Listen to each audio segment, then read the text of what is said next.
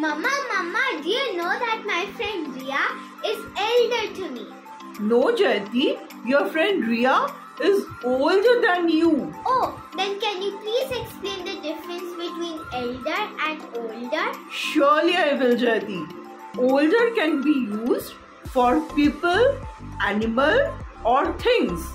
Whereas elder can be used only for persons.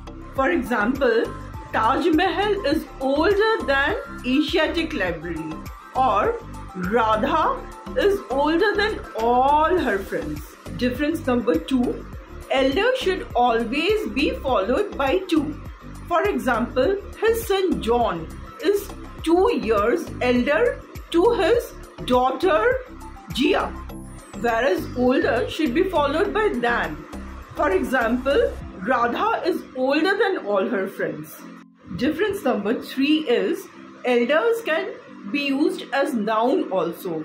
Elders mean elderly people or people who are senior citizens. For example, we should always respect our elders. The fourth difference, Jayati, is that elders can be used only for siblings. For example, my elder brother Gaurav is staying in West Bengal and older cannot be used for siblings. Wow, Mama, that was so informative. To learn such informative things, do Like and subscribe. Bye. Bye bye.